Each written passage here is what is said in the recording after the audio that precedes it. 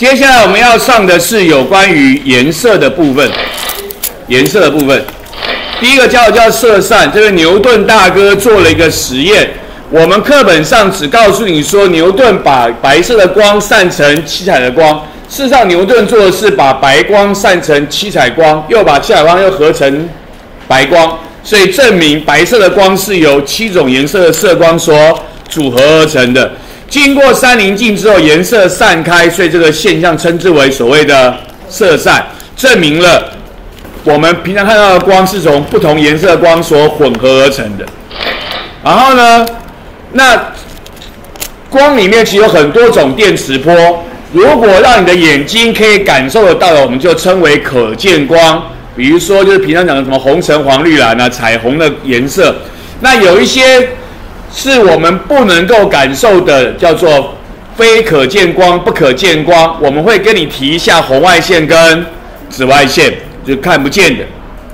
啊，所以光无线电磁波有这么多这么多种，中间有一小段人的眼睛看得见，叫做。可见光，其他的看不见，叫做不可见光。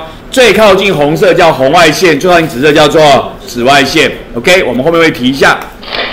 那么色光会经过三棱镜会色散，原因就是因为每个的折射情况不一样，也就是说，不同频率的光在相同介质中，它的波数是不一样的，所以折射情况是不一样的。那么彩虹照片里的彩虹，还有光束会散开或天空会变蓝色，这些都跟色散的东西是有关系的，有关系。不过我们国中没有教彩虹，高中的时候再跟你提，就听到知道这回事就可以了。好，那你会看到东西的颜色，就是它。反射或者它自己发出来的光进到你的眼睛，你就看到这个颜色。所以为什么你看到一张红色的纸是红色的？因为它只反射谁啊？只反射红光，把其他的光都吸收掉，只反射红光。红光进你眼睛，所以你看到就是红色。有一个绿色的玻璃，看到是绿色的，为什么？因为它只让绿光通过。把别的光都吸收，别的光都吸收，所以就看到它是绿色的，只让绿光通过。什么颜色的光进到你眼睛，你就看到什么颜色，就这个意思。OK？那如果所有的光都吸收，就是怎么样？没有光，那就变成黑色，没光。所以没有黑光这个东西，黑色就是什么？没有光，没有光，黑色就是没有光线进到你的眼睛，就是黑色。那所有的光都进来就什么颜色呢？白色，所有的光进来就是白色的，白色的，OK，好，白色的，好，了解吗？看到红色就是红色进眼睛，看到白色就是白色，就是所有的光都进眼睛。我是红色，因为我吸收其他的光，只反射红色，OK。那么因此，白光在蓝纸上是什么颜色？白光照在蓝色纸上，你会看到什么颜色？你们这个应该没有。四号，四号，啥颜色？白色，请坐。白光在蓝纸上，蓝色纸会吸收其他的光，只反射蓝色，所以蓝光你看到就什么颜色？蓝色。那蓝光照在蓝纸上会什么颜色呢？啊，很少人问这个笨问题了，因为这实在没什么好问的。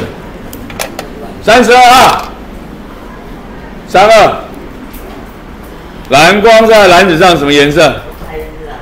还是蓝色？废话嘛，这都是有蓝嘛，所以当然就是蓝色嘛。因为它会反射，因为它会反射蓝光嘛，蓝纸是反射蓝光嘛，OK，吸收其他光。所以红光照在蓝纸上会呈现什么颜色？红色的光照在蓝色纸上会呈现什么颜色？我们找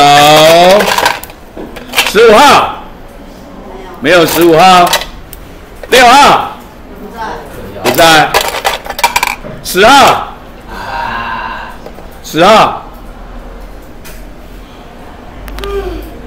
黑色哦。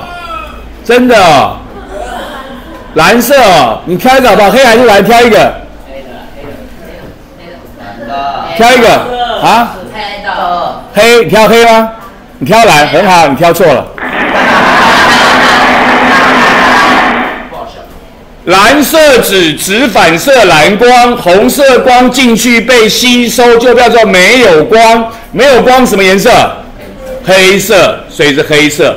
考试就考这个，就是考试内容。光照射成什么颜色？就考这个，就考这个东西，搞清楚啊！我看到它是红色，因为它只让红光进到我眼睛，其他光都不见了。OK，就这个意思，好啦？生活现象，路口的红绿灯就这个，但这个是旧式的，左手边旧式的，就是前面是一个亚克力板，后面是一个灯泡，然后呢发出来之后，通过红色亚克力就看到是红光，看到黄色是黄光，这是旧式的。可是现在他们是右边这种，右边这种新式的 LED 的 LED 的，那就是红色它发红光叫红色，黄色发黄叫黄色，就不一样。OK，我们讲这个旧式的，有个亚克力透过来什么颜色就什么颜色啊，旧式的。现在台北市已经几乎找不到那个旧式的红绿灯了，因为它比较省电，比较耐用。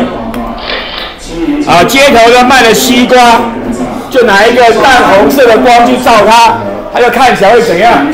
比较红一点，会看起来比较可口一点，好吃一点，用来欺骗你，让他让让你以为他非常的美丽大方，美丽大方，但其实不是的，就是我们的生活上面的一些光的现象，OK 吗？OK，很好。